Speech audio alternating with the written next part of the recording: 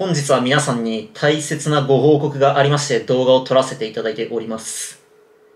本日がチャンピオンズリーグ福岡の合否発表の日だったんですが、私壇の浦、落ちてしまいました。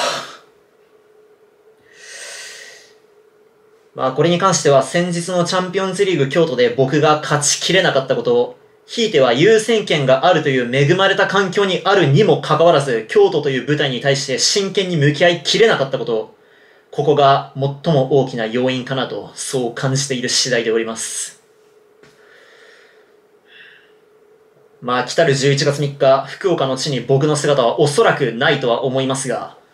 出場される選手の皆さん、また運営に携わる皆様のことを陰ながら応援しておりますので、皆様、頑張っていただければなと思います。分かっていたことではありますが、チャンピオンズリーグに出れないというショックが大きすぎて、本日の動画を作る手が止まってしまい、このような動画になることをお許しいただければと思います。ちなみにこれ撮ってるの合否発表の2日前です。あまりにも先読みが過ぎる男。